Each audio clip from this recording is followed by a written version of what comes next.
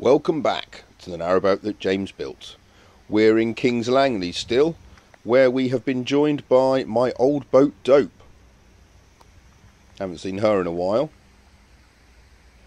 And at the end of this line of boats is me.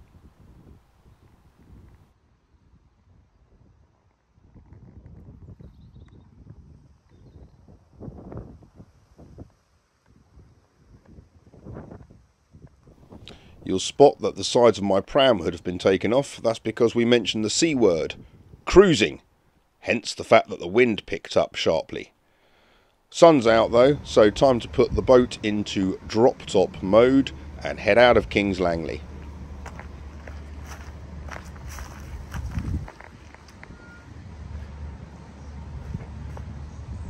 Just time to do my pre-cruise checks and realise I was a little bit low on diesel and beer. Luckily, there was a fuel supplier in the lock who gave me a can of diesel.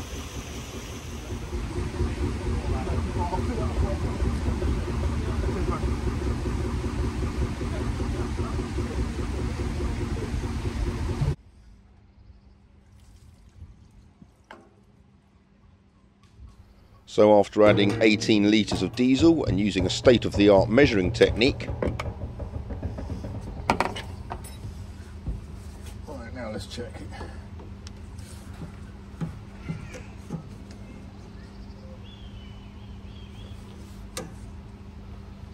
Up to there.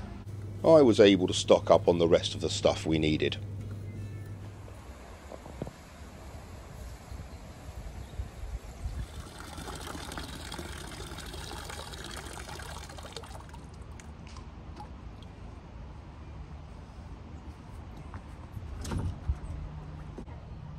Right, time for a quick prayer to the Lister gods.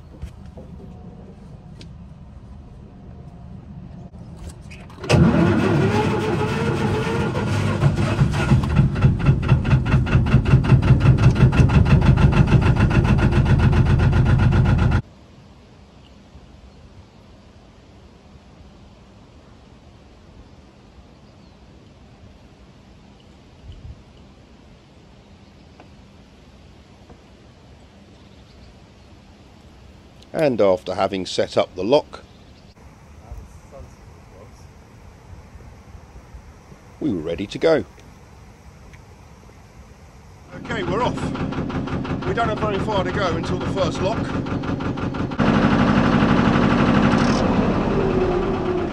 Okay, we're in.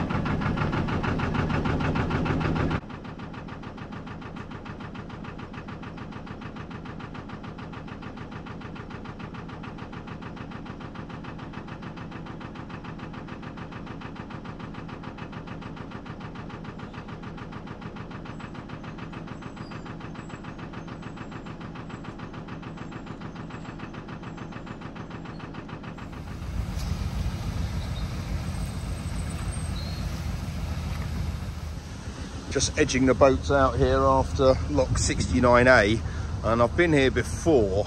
There's a channel coming in here and a weir there. So there's quite a lot of movement underneath the surface of the water going that way. And then there's a channel coming in there. So there's actually quite a lot of turbulence in this water. And I've smashed this boat against that sidings once or twice.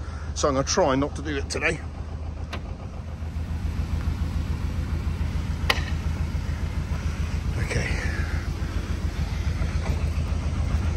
worked fine.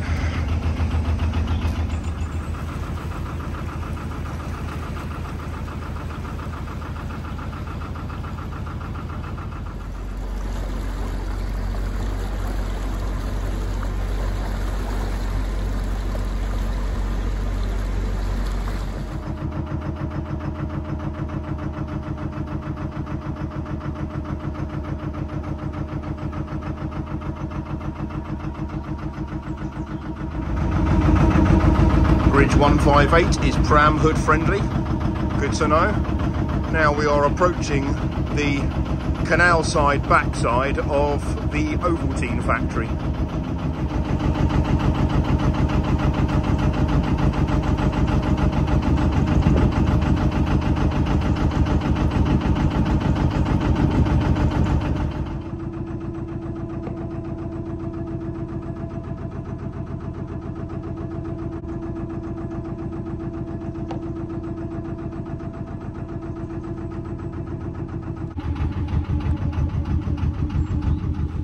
Making our way past the geese and the moored boats.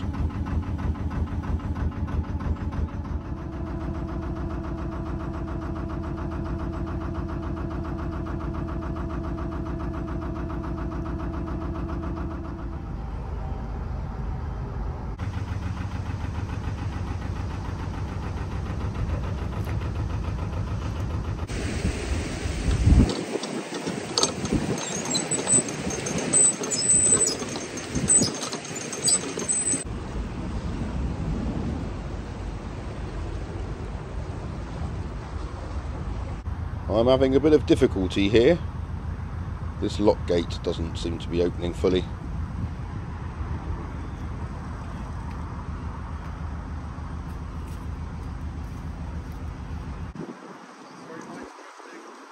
It's alright. Uh, this lock gate doesn't open properly.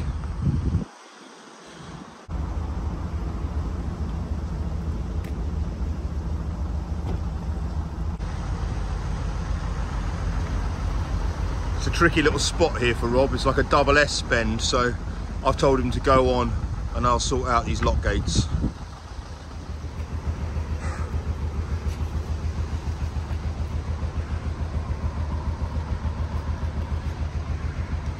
Right, nearly left my windlass here.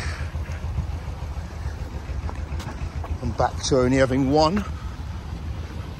There she is. Okay, let's find Rob. We've officially left Kings Langley now. We're heading under Bridge 158B, and then we've got that long stretch underneath the M25. So that's the next bit for us.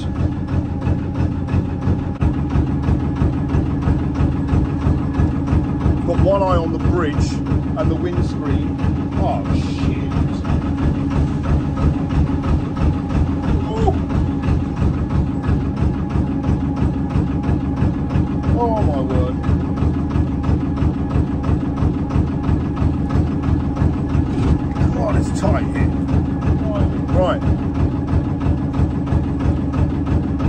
There's Rob loitering underneath the M25.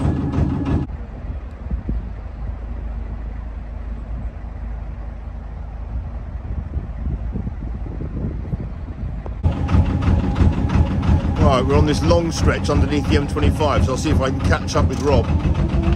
Come on, Lister. There he is. We're catching. All 13 horsepower of her.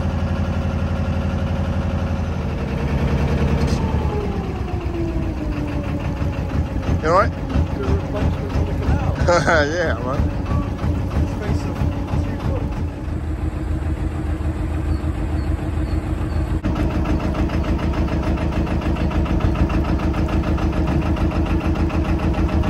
Right, there's a lock just down there. Um, and that's our penultimate lock of the day. Oh no, it's not, it's our last one. Excellent.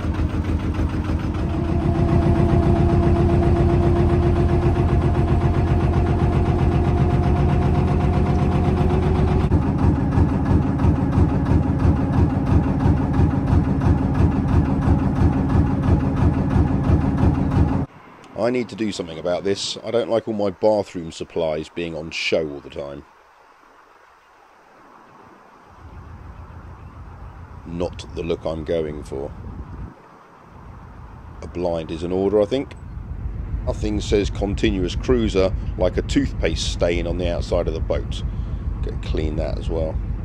This is North Grove Lock, number 71. Rob's just mooring up, I've set the lock up, and this is a former King's hunting ground all around here. Hence it's called King's Langley, that village over there. I don't know what king it was. Anyway, history lesson over. Half full.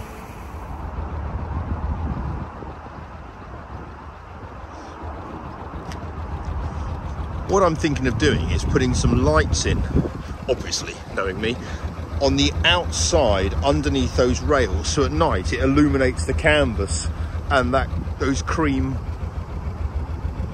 rails. I reckon that'll look pretty cool.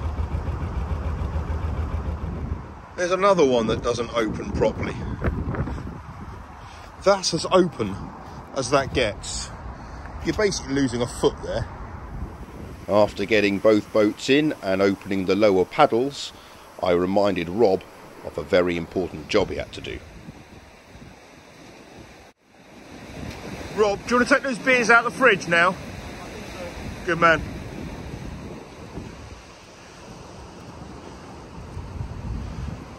Fenders are up, you'll be pleased to see. Tyres up.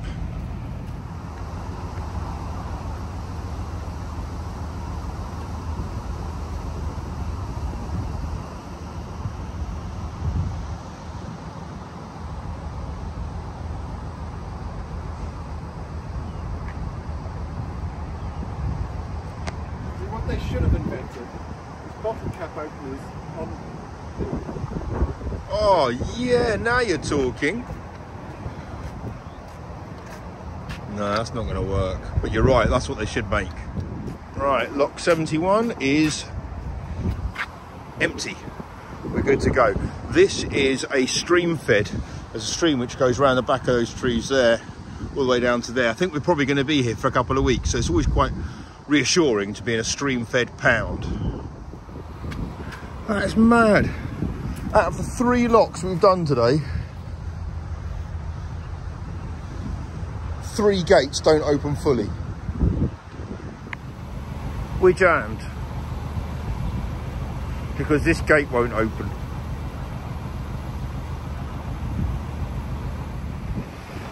Okay, that's it. Our last lock of the day is done.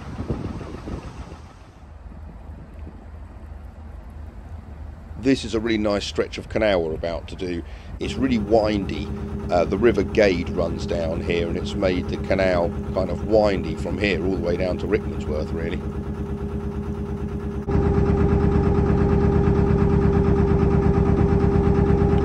Right, this is Hunton Bridge now. This is pretty much where we're looking to moor. So we're going to find somewhere, possibly on the starboard side here, hopefully. It's quite near the old train track though reckon, Skip, up here? Right, well, let's carry on going. Let's see what we've got. Okay. I'll get ahead of you.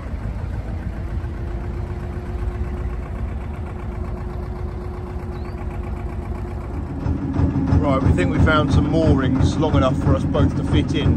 Problem around here though is solar. We're on the starboard side, so solar's going to be slim pickings. It's okay right here, because the hedgerow's quite low, but under there there's loads of trees. So, oh, it's a laid path as well. That's quite useful. But we're on pins here.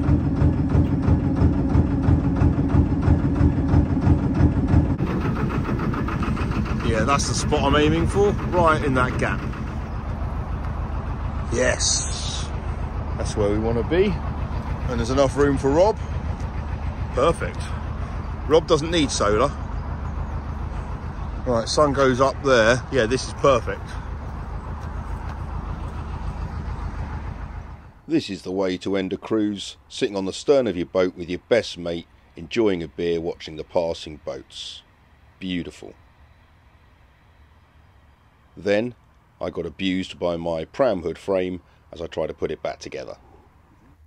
Quick lighting of the fire before I head over to HMS Serafina where Rob is making steak and horseradish mash. Mm. Oh yes, that is just what the doctor ordered me. Thank you very much. No worries. We've been well fed on HMS Serafina. Now we're going to go up to the pub. I think it's the King's Head uh, over the bridge up that way. And we're going to check out what that's like.